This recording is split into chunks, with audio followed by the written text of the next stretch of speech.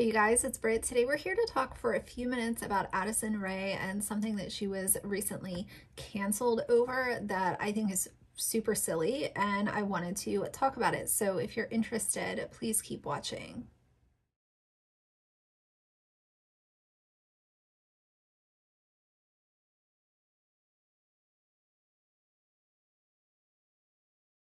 All right, you guys, so if you're not familiar, Addison Rae is a huge creator. She got her start on TikTok. She's also on YouTube, and she has just become a very mainstream influencer. She has her own beauty brand that is in Sephora, and it's called Item Beauty. I've looked at a couple of the products. I haven't purchased anything from the brand because it's not really anything that jumps out at me. It's not anything that excites me. If you guys have um, tried anything from the brand, be sure to let me know. But what I really want to talk about today is the fact that she, her brand, Item Beauty, just released a couple weeks ago this blue light protection facial mist.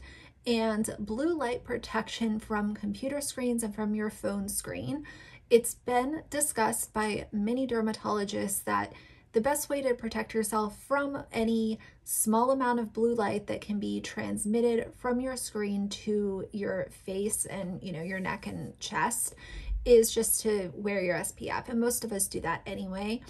But leading up to this point there was also a Twitch streamer named uh, Valkyrae and she teamed up to release an entire line of blue light protection products because of the limited research and people feeling like it was a cash grab, she got on a live stream and she pretty much said, I'm not doing this. What, what essentially happened with her was she was the face of this brand. She did not know near what she should have known about the claims of blue light protection and what dermatologists are actually saying, and she bailed. So that company is done.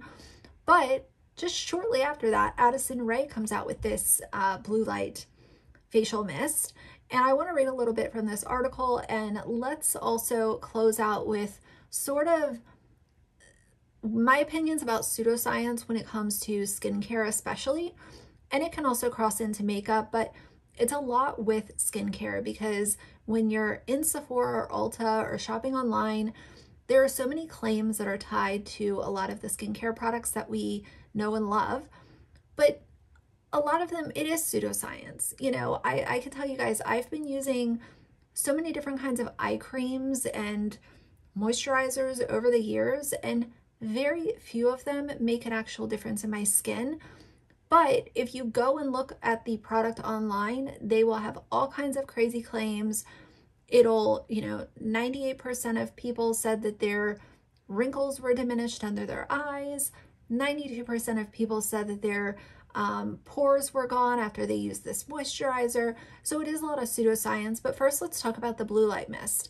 So this was posted on Insider and it says that TikToker Addison Rae promoted a blue light mist as part of her Item Beauty skincare range this week saying it can help protect, protect skin from potential damage from electronic screens.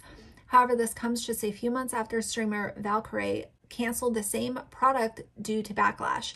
Experts and critics alike said that there is little scientific basis for a spray to protect against the blue light emitted from screens. And there is no evidence yet that the light from screens specifically causes damage at all. And that's what dermatologists have been saying if you are worried about it, your SPF is going to cover your bases.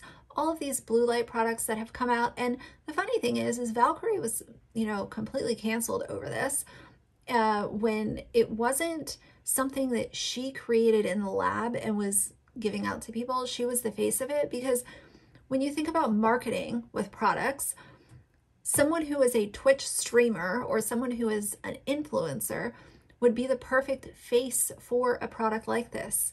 They're on in front of a screen all day, so let's have them be the face. Um, you know, she definitely got a lot of heat for it and she bailed. Addison Rae, I don't believe is going to do that, but it is really funny how all of these different products have come out leading up to Valkyrae and then she gets dragged and then Addison Rae comes out with this and nobody's really talking about it. Nobody's really upset with her. So I do kind of scratch my head when it comes to why are we not keeping the same energy. Personally, I don't think that Valkyrae deserved a fraction of the, you know, heat that she got. Um, but I think a lot of it came from the way that she reacted once she got the kickback um, from from her fans and other people online.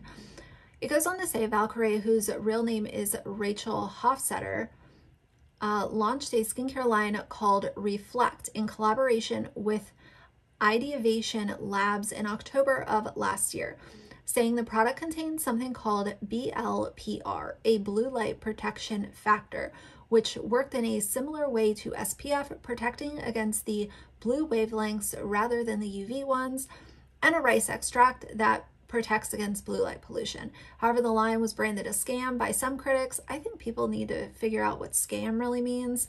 I see the word scam just plastered on everything, and that's not what a scam is. By some critics who noted the inconclusive research and determined it was a cash grab. Two weeks later, Reflect ceased to exist. On its website, a message stated, While we believe in the formulations created, after further reflection, we have decided to move forward in new paths, effectively terminating the Reflect brand. Addison Ray launched her mist called Screen Break three months later, claiming it is clinically proven to protect skin from screen emitted HEV blue light and daily pollution. It contains many similar ingredients as Hofstetter's Reflect Spray did, mostly oils, cleansers, and plant extracts. When Hofstetter saw the advert for Screen Break, she tweeted, How is this real? And she said, I wouldn't be surprised if it's the same company.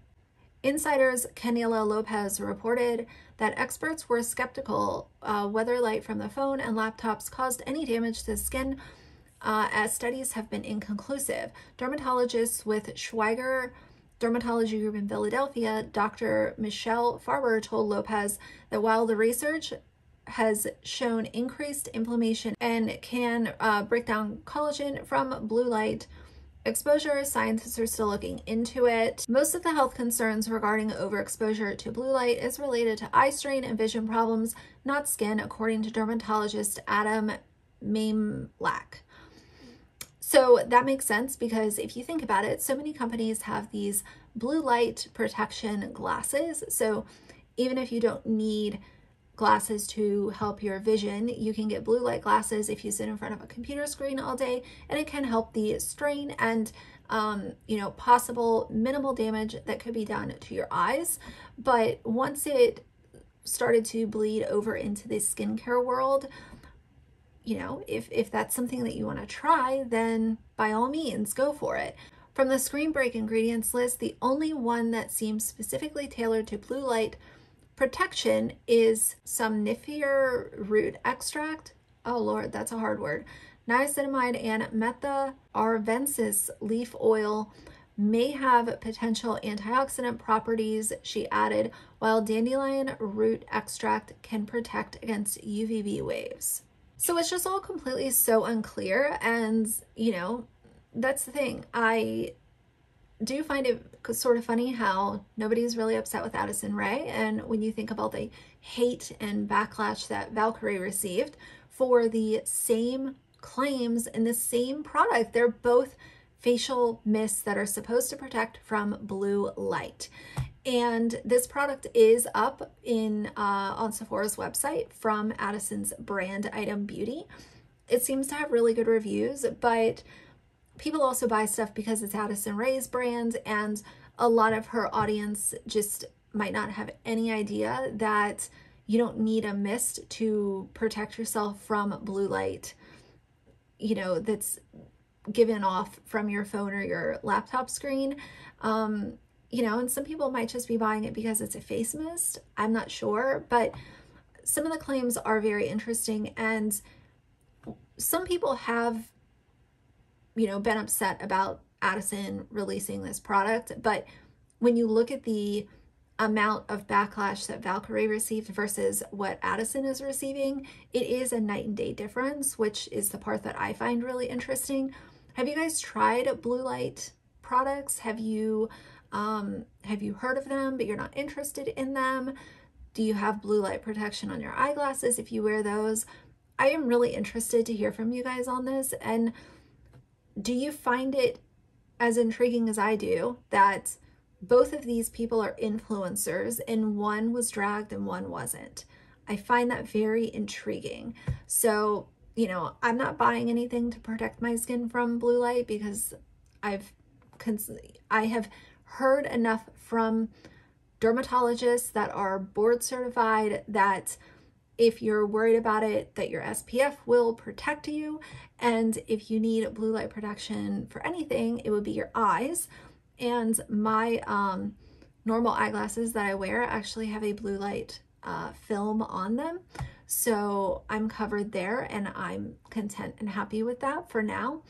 But I do think it's really interesting. But when it comes to uh, the pseudoscience idea with skincare claims, this is something that I'm used to. I've been seeing claims that are sort of unfounded a lot of times attached to really expensive skincare products since I was 16 years old, especially once I was um, 19 and I started working for Nordstrom. And, you know, since I was working at MAC and I was in cosmetics, I would always see all of these skincare products coming in when they were, whether they were brand new or just restocked. And that's where my interest in skincare really started. So I would see a whole bunch of expensive products, a whole bunch of claims. And all these years later, I look back and I'm like, I am just as happy, if not more happy, with my $12 CeraVe eye cream that I've been using for years now as I have been with a 60 or $70 eye cream that I've tried along the way. So, you know, at the end of the day, your skin needs to be moisturized and taken care of, but at the end of the day, we're always going to have a bunch of claims. There's always going to be a new thing that we need to fix and a new ingredient that we have to be using on our skin. That is the well-oiled machine of the beauty industry. They're always coming out with something that we have to have. But I don't know. Let me know what you guys think about this whole Valkyrae Addison Rae thing, especially because they're happening so close together it's not like the Valkyrae thing happened three years ago and people forgot about it. It did happen just in October. So we're talking about months later. And, um, you know, Addison Rae is just sitting on her mountain of money and it is what it is. So, you know, I, I don't care for Addison Rae, but I also don't dislike her. I just don't really pay her any mind. So, um, yeah, either way, let me know what you guys think. So for now, if you like the video, please leave a like and a comment. And if you'd like to see more from me in the future, please subscribe. I'll see you guys soon. Bye.